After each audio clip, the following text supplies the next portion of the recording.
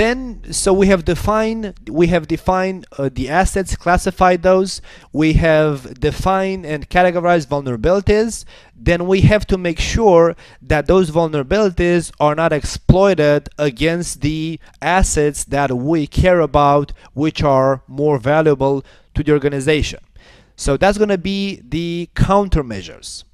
So likewise in order to provide the appropriate security control then if required because as I was saying on some on, for some assets there is no need to deploy any kind of countermeasures. Even if those are vulnerable they are let's say uh, un, they are not they present no value to your company whatsoever so if, if, once we have done all of those steps with the assets and vulnerabilities, then we have to see what are the available countermeasures to implement in order to uh, protect the valuable assets against uh, against the well-known or unknown attacks due to their vulnerabilities.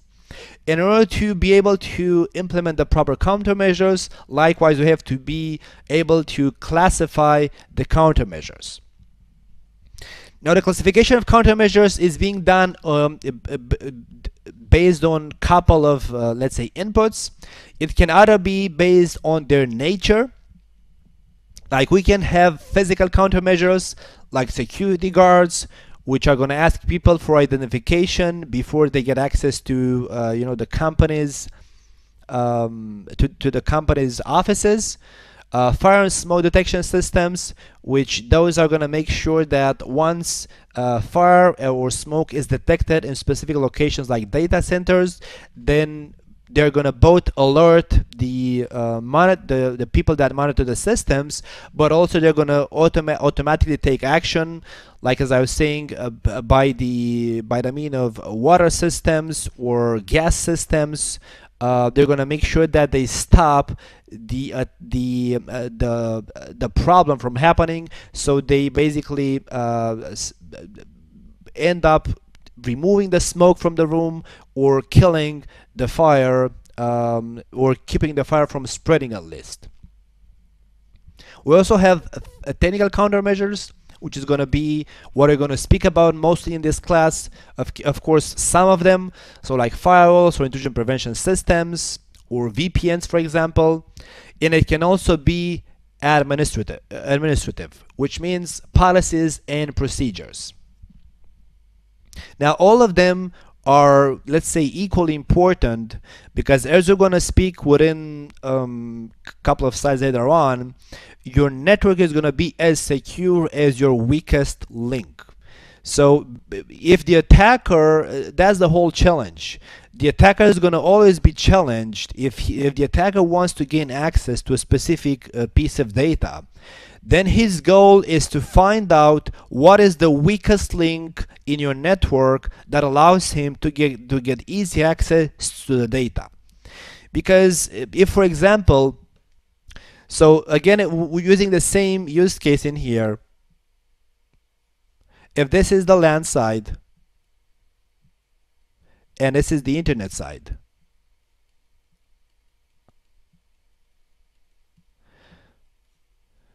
and there you have the attacker connected to the internet. And let's say the attacker wants to get his hands on uh, on data which uh, which resides on test server A.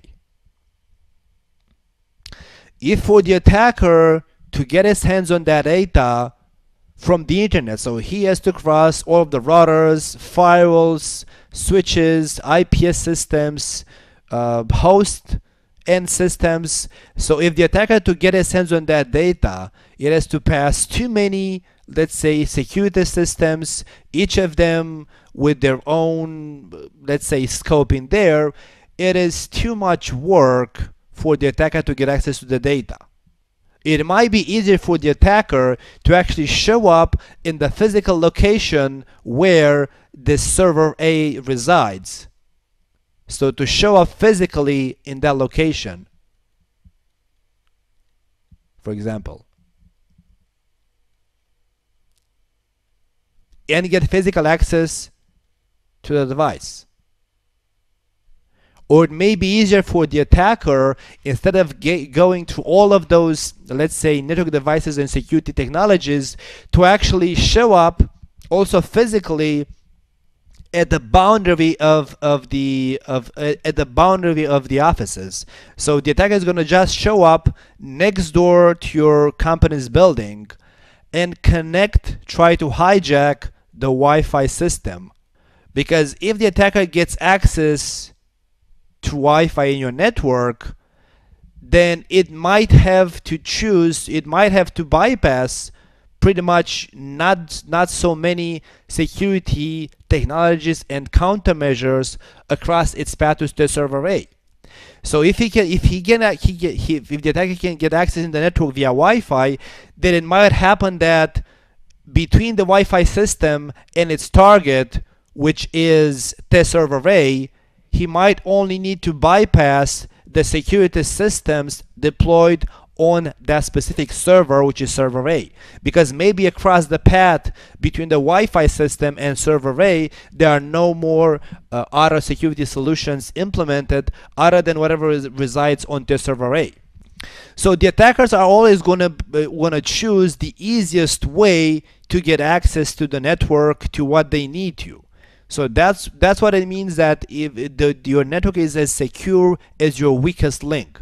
Because you might think okay because this the data on this server is publicly avail is not publicly available you might think then the attacker has to come from the internet. So let me put a lot of you know security solutions in the internet so that nobody can get in uh, unless specifically authorized but then they're going to buy the as soon as they find out it's too complicated to bypass the security systems from the internet you're going to try any means to get somehow in the network via other via other um, let's say inputs. Like either physically as I was saying or to the Wi-Fi system or to the uh, for example to the powering system because the powering system may be IP connected. So it's going to find other ways to get in the network at the IP level basically so in this use case, you may have ended up spending, you know, lots of money to protect this path from being available to the attacker. So you ended up investing a lot of money in the security system so that the attacker, which stands up in here, cannot successfully launch an attack following the internet path. But then you end up providing or implementing no security measures at all or weak security measures for physical access or Wi-Fi access. And then the attacker can exploit those network entrance points to get easy access in the network and then easy access to the data they're looking for. Also, the, the countermeasures can be um, classified based on the attack phase being useful in. Like we can have preventive countermeasures like the firewall which blocks all ports being reachable from uh, from the internet all or let's say blocks all access from the internet to the inside network except specific ones so that is a preventive uh, countermeasure it can also be detective like surveillance camera which means that the surveillance camera doesn't actually block access or doesn't actually prevent an attack from happening, but it can actually uh, it can actually uh, catch the attack lively as happening. Or they can be corrective. Like for example, when an infected endpoint, when an endpoint got infected, the cleaning procedure uh, need, which needs to be done on that endpoint is called the corrective procedure. So corrective means after the attack has been launched and successfully deployed and once you have detected the attack then what are the corrective measures you need to deploy in order to fix up the problem or in, or in, the, or in this case clean up the endpoint. You also have recovery countermeasures which mostly are a subset of, of the corrective measures like for example system availability after incident.